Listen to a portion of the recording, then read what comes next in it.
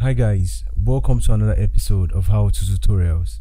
I'm Super Sam and in this video I'm going to show you how to mirror a pose in Blender probably from right to left or left to right depending on um, what your situation is. So let's get to it.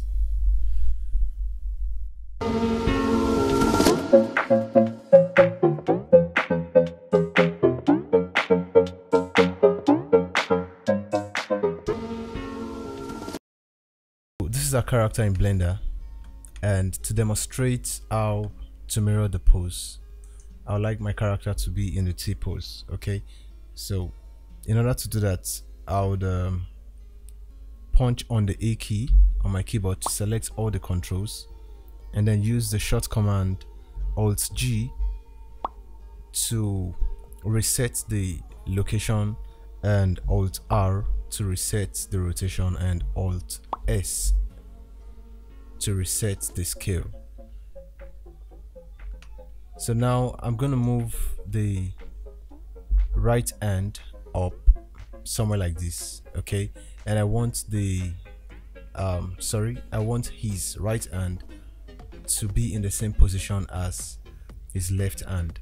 So to do this I'm gonna select on the particular control that I want to copy the pose from which is his left hand in this case by using the short command control C.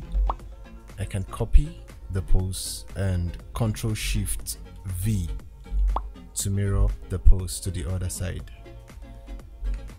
So I would try this once more with uh, the feet just for you to see. And G to translate the feet up. And rotate so you can see what we are doing here. And probably rotate it this way too. Okay then the short command Ctrl C again to copy. Ctrl Shift V to paste. And you can see both legs have um, the same shape from the side view. So this is how you mirror your pose from one side of your character to the other side in blender. And that brings us to the end of this episode. Don't forget to like the video share it and subscribe to our channel if you haven't done so. See you in the next episode. Bye